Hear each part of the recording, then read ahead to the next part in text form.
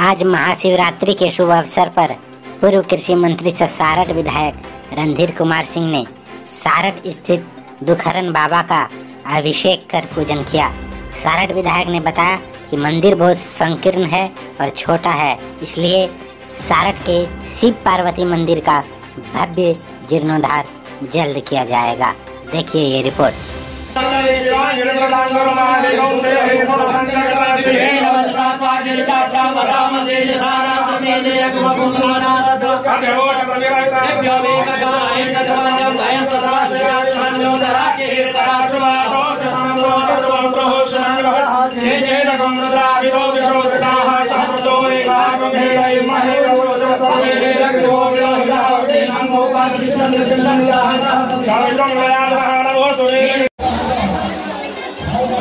मुखिया बाबा तुफान बाबा के मंदिर के में महाशिवरात्रि के इस पुनित मेला में यहाँ आप सभी भक्तजन चढ़ा रहे हैं और हर साल हर साल शिवरात्रि को यहाँ जो हज़ारों, हज़ार श्रद्धालुओं की भीड़ रहती है, और अभी मंदिर परिसर में हम गए थे हमने जो देखा हालात काफ़ी ज़्यादा भक्त यहाँ पहुँचते हैं, और मोदी जी काफ़ी संकीर्ण अवस्था में मंदिर हमारे हैं। हम सभी के पूर्वजों ने बहुत पहले मंदिर का निर्माण किए थे। अभी मंदिर की स्थिति बहुत जर्जर है। इसको देखते हुए अभी शिव शक्ति कमेटी के समक्ष जग मंदिर परिसर में हम लोगों ने व्यापक चर्चा करने के बाद हमने ये निर्णय लिया है। आप सबों के आदेशानुसार और भगवान भोलेनाथ की विशेष कृपा पर ये शिव मंदिर मुखिया बाबा का पार्वती का मंदिर, नव निर्माण भव्य तरीके से यहाँ किए जाएँगे। और जो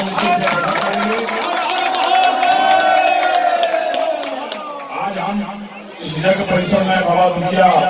मंदिर के प्रांगण में आप सबों के समक्ष हम प्रण लेते हैं कि बाबा मंदिर का यहाँ निर्माण होगा और जो शिवलिंग खंडित हो गया नए से शिवलिंग यहाँ पर स्थापित होंगे वाल जो काफ़ी संकीर्ण है, जब शिवा और पार्वती मैया का मंदिर मंदिर तैयार हो जाएगा और भोलेनाथ का मंदिर तैयार हो जाएगा तो बाउंड्री वाल को भी हम लोग खड़ा करेंगे। गेट को चौड़ा करेंगे निकासी द्वार भी पर्याप्त बनाएँगे, ताकि लाखों लाख श्रद्धालु यहाँ आवे और साथ की हमारी महिमा है, वो ग्रामीण करने वाली महिमा है। मैं देखता हूँ बाबा भोलेनाथ के बाद और हमारे जिला में सबसे ज़्यादा भीड़ यहाँ होती है और यहाँ के शिव बराती झांकी, देवघर के बाद शिव बराती झांकी के बाद दूसरा स्थान संभाल करना है देवघर का तो इसी बहुत तो से मेरा गुजारिश होगी निवेदन होगी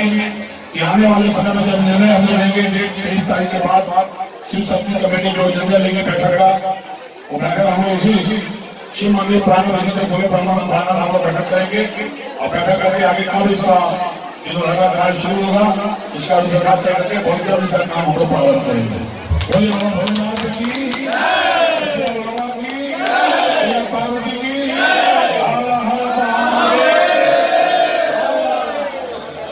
अच्छा भी अभी जब भाषण करके नया सदन से बनेगा मंदिर उसमें मैंने वीडियो इसका जीर्णोद्धार हो। हाँ तो वही तो जो बोले वही वीडियो को काट लेंगे सवार होकर मंदिर के जीर्णोद्धार का इन्होंने प्रण लिया और निश्चित तौर पर एक भव्य मंदिर होगा काफ़ी हद तक हो रही थी। इस कठिनाई को इन्होंने स्वयं महसूस किया इनकी संवेदना ये बतलाती है कि कितने सजग है धर्मशील है धर्म परायण है। भगवान हमेशा इनको बुद्धि दे जीवन में उन्नति ओम नारायण